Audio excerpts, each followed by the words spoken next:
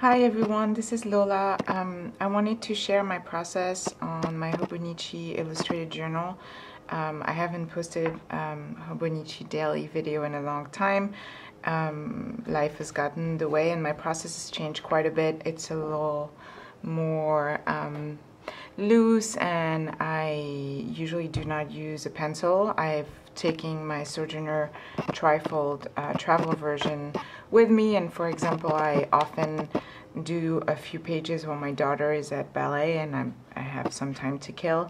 But um, I will uh, try to explain how I've been working. I'm often like a month late which is the case right now. So what I usually do, I often have pages that look like this for a long time. In fact, right before I left, I think it was um, the third, I pretty much painted all these pages and tried to fill in the pages where I didn't have any photos. So the way I do my illustrated journals is usually I draw from photos as memories which is where the iPhone comes in super handy because if you look on the side, they are by um, chronological order, so you can look. And often, because I am a month late, what I end up doing is I kind of pick and choose my favorite days and I just draw those. And then little by little I go back and I fill in the days either with Hobonichi challenge or anything like if I'm not inspired. I mean this was like completely like loosey goosey like I looked at myself for a reference but I do not look like this. And just drew some stuff.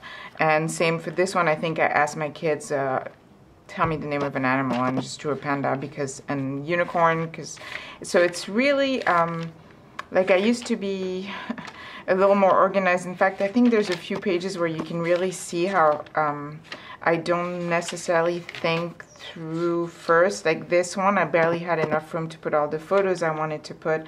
This one was I watched a movie and I started drawing this and I already had drawn this.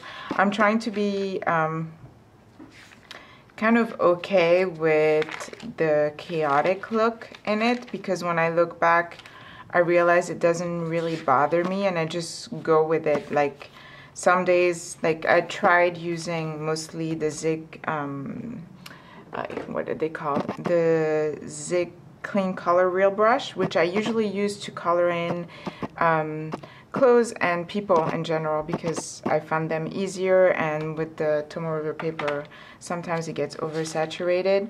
But um, you know, I, I often like practice my drawing. This is some artists on Instagram. These are photos I found. Um, really, it's all about how I felt that, like, I love this page. It's all tiny, but I don't know, like, it doesn't come out always consistently the same, which I think is what is interesting about this journal is like, sometimes it's very busy and like this page I went crazy. I tried to do like a Klimt because I went I was in Paris to see that um, exhibit. And um, some days I have almost nothing you know because I don't know what to put. And I think that's kind of the secret is to kind of go with it and try not to like self um, judge. I don't know how else to say it. Um, criticize be like oh i'm not a i'm not i mean i am not i don't draw for a living i do this for fun i'll show you actually because i was looking i'll show you what this was my first year and if you look i think at my first page uh, which I started too early. I was, it's really a huge, huge difference. There were um, really a just kind of, um, hold on, there's some there we go. I kind of, you know, tried my best basically, and I was copying a lot of things. And then as the year goes, you can see that I got better. I got, I experimented more and everything. And I just, I just think that's the fun part. And it just happens just from drawing. And I don't do it daily. It is illustrated daily journal, but there are days where I'll draw for five days and then there's obviously months where I don't draw at all. As long as by the end of the year it's finished, I'm happy. So I was looking and thing that I feel like drawing just happened. Uh, my daughter is suddenly obsessed with slime.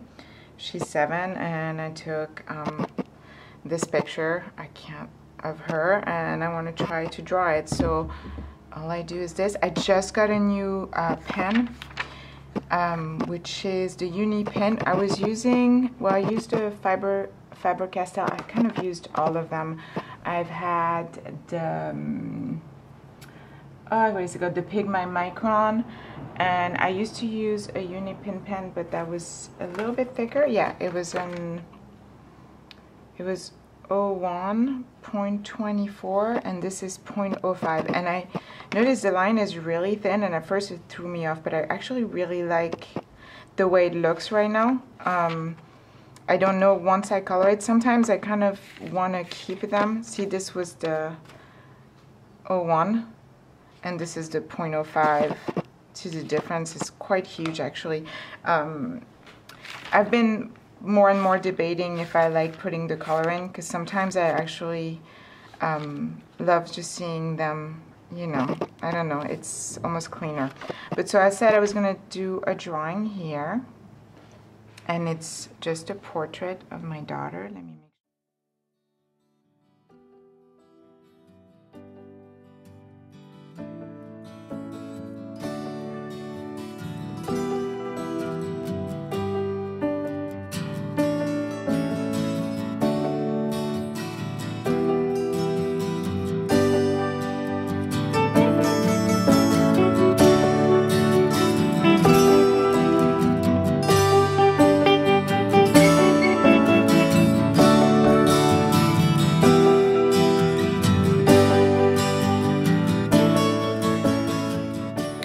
you go. Hope you enjoyed this video and um, see you soon.